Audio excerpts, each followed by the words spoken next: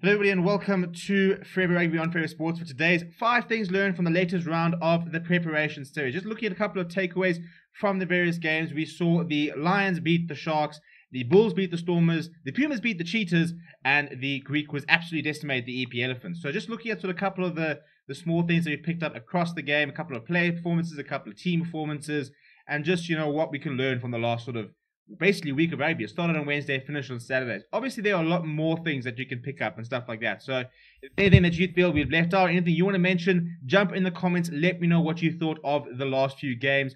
Also, please do smash a like on the video. Subscribe to the channel if you are new.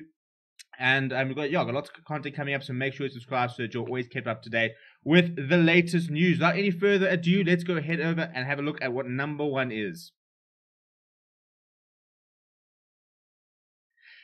Right now, this could be a five-year project, it could be a ten-year project, but the point is the EP Elephants are a very, very long way away from being competitive at this level. And you can, I mean, it's it's inevitable. A union which has been on its knees for so many years and now has sort of had a, a, the greatest rugby company ever that was going to come in and fix it and pump all this money and stuff like that, and it hasn't worked. As a result, we have got an EP side which has reverted back to being the EP Elephants. They've dropped the whole EP Kings thing. They've got Peter de Villiers, a, a former Springbok coach. However, the players they have, there is such a gap in quality in what the players that are playing for EP at the moment and the rest of the teams. I mean, basically, it's a semi-pro side.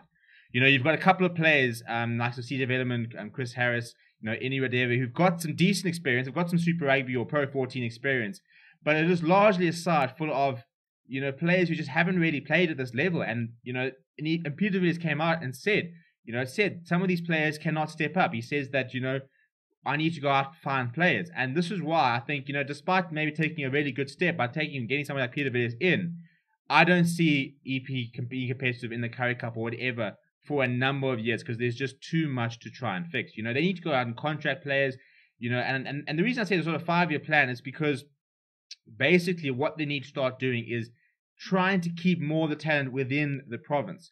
You know, mean, we've seen how the Sharks have basically used the EP, I mean, Eastern Cape as as their academy. You know, just pulling out players whenever they want.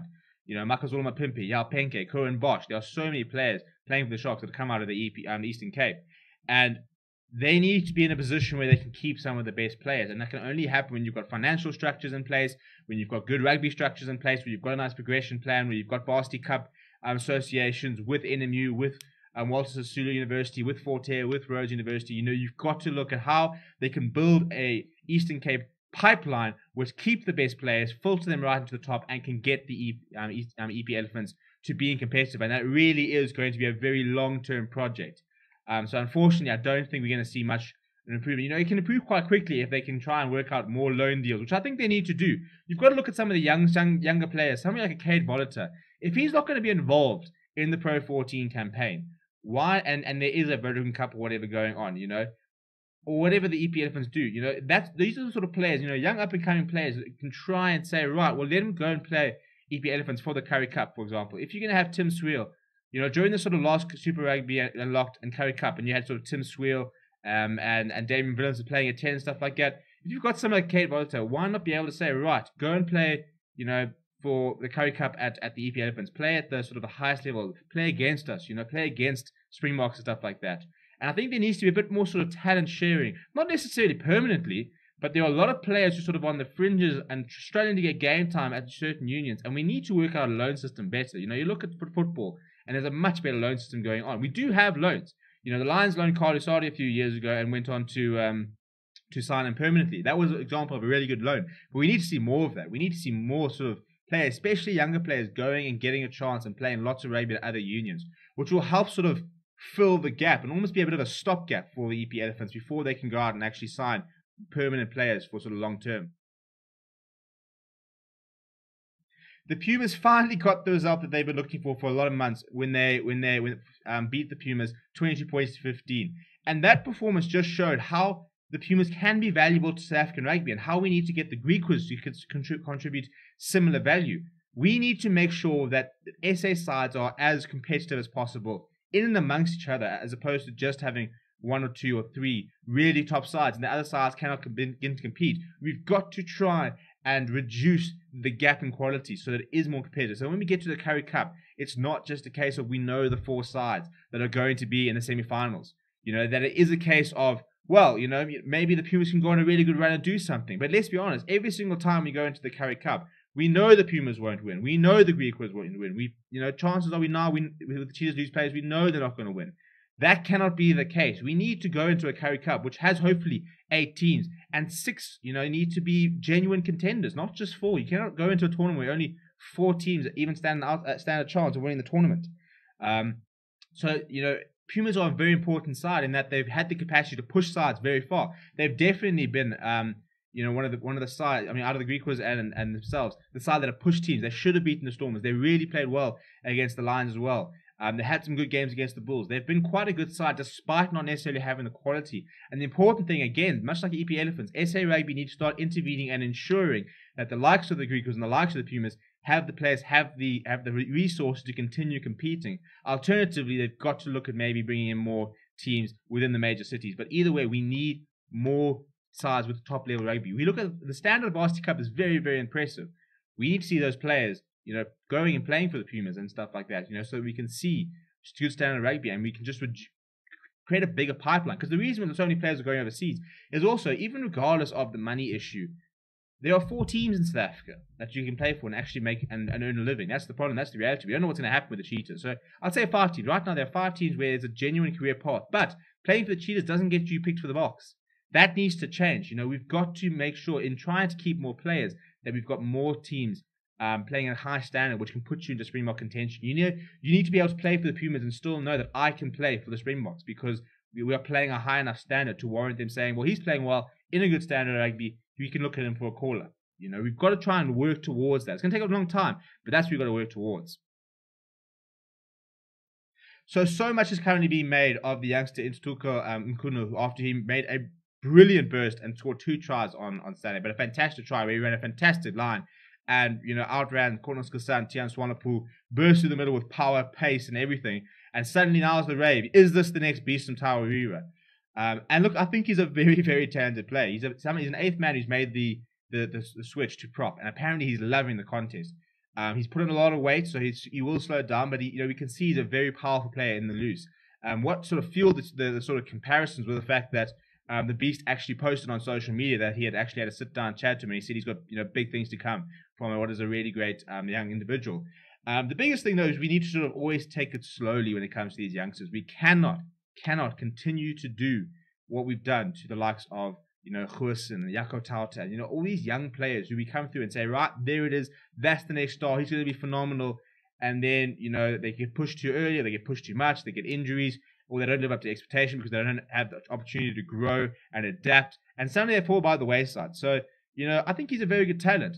He's got to prove at scrum time, for example, but also he's going to be the second choice. You've got Ox Nché, who is pushing Steven Kitshoff. You know, he will be you on the bench. If I had to name a Springbok team tomorrow, I'm having Ox Nché on the bench for Steven Kitshoff because he's playing really, really well. Um, so definitely one to watch. But I think you know we do need to slow down when we get to these sort of comparisons. You know, same like a Kade Wolhuter, he comes out and I was saying, well, there we go, that's a future star. He might be, but allow him the time to develop within himself, within his sort of age group rugby. Let him play Varsity Cup, you know, and play and, and star at that level. Play play 820s and star at that level, and let him come through when he's ready and he can make the step up, as opposed to rushing them and potentially derailing their careers. Another fantastic game for Cornal Hendricks over the weekend, and you know what I was saying over the weekend, I said you know I think he's pushing for a call up, and if Andre Este, I mean if um, Damian Lindy were to not play, I think he would be in for the shot. Um, some people got a bit upset that I didn't mention any other players, and my, my point wasn't to disregard them. But what I'm saying is, I think you know at the moment you've got Francois Steyn and um, Damian de Allende who are currently in the squad, um, who were in the sort of Boks World Cup squad as your number 12 options really.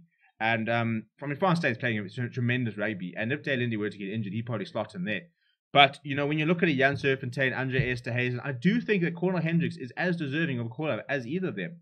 You know, I think him and probably Jan will be my current sort of top two picks, and then going to more sort of Andre Esterhuizen. Um, I just think that, you know, you in terms of it, it, depends what you want from your center. The problem is, you know, if you want a hard hitting running center, that's where the likes of Andre Esterhuizen and Damian de Allende feature really well. But if you want raw pace, running lines, you know, Jan Serfontein, Cornal Hendricks, um, sort of fit the mold better. But I just think that you look at Cornal Hendricks and he's really reinventing himself and it's becoming difficult to ignore when he's putting in man of the match performances week in, week out. You know, yes, it's not necessarily against the, the best opposition, but we're going to see that hopefully in the Rainbow Cup. And if he keeps performing like he is in the Rainbow Cup against good opposition, he becomes a bit difficult to ignore. And I know he's old. I'm not saying it's a long term option, but if there are injuries, you know, it's somebody that's been through, uh, played international rugby before. He's had that exposure. He's had that experience. You know, he's reinvented himself. He's playing a whole new brand of rugby, and I think he really could be an option if needs be. I'm not saying we need to call him up now, but I do think that he is a genuine option if if we need some cover and somebody that's been there, can step up, has played international rugby, has this, has had that exposure before. Now, this is no insult to Tim Swiel or Kade Wolhuter, but what I think what we see, and this is actually more about Damian Willemse. Friday night, especially in the first half, we saw why Damian Willemse needs to be played at, at fullback. The space he found to operate in, to have that license to drift, we saw a whole different Damian Willemse, you know, playing in that. And then what we saw at half, where he struggled. He had some good games at half, and he has had some um, um performances in the number 10. But playing at fullback, where he's got more license, where he's got a little more freedom to get around the park, suddenly coming in first receiver, or suddenly be able to, you know, be able to guide a couple of things, be able to say, "Can I have the ball here? I'm seeing some space there." Just sort of taking back and being able to sort of survey everything in front of him, and then come on and join in, as opposed to standing at number ten, where he's going to sit there and you know, pod one, pod two, you know, inside center. Now I need to kick for touch. Now I need to put an up and under in. You know, I don't think tactically he's the best player around, but I think on the ball he's still got that. He's got so much talent. He's a really good attacking player. He's got a lot of pace, really good step. He's decent defensively, and he's got a good kicking game. Whether it's good enough for half, I'm not so sure. But at fullback, he really is flourishing. And I know that when Warrick Gelant comes back, it's going to be a whole different headache. But I genuinely do think that if the Stormers want to sort of, you know, get the best out of their players, a half will be a really good player. And I think Tim Swiel's not a bad player, but I think you need to find someone of sort of Tim Swiel's age, but a bit better. You know, when they have all the sensational reports about um, I mean, getting Super Waga back. I mean, or getting Super Waga. You know that that is a really good um, idea. You know, getting someone 29, 30 years old, coming at the end of their career, just to be a stopgap for two, three years before Kade Wolhuter is ready. he's just not ready for me. He's too young. Um, and I know that you know they always say, well, if he's good enough, he's old enough. But I still think that there's been too many examples of young players who just never reach their potential because they've been rushed. And I think if Stormers can get a stopgap sort of potential um, half for like the Rainbow Cup and let Damian Willemse loose at fullback. He's, I thought he was fantastic. And I think that's where we will see the best of Damian Willemse. But that would mean Stormers going out and getting a fullback. But let me know what you thought. Those are just some of the things that we picked up. Let me know what you picked up down in the comments below. Do smash like on the video. Do subscribe to the channel. My name is Steven. And as always, thank you very much for watching. And I'll chat to you very, very soon.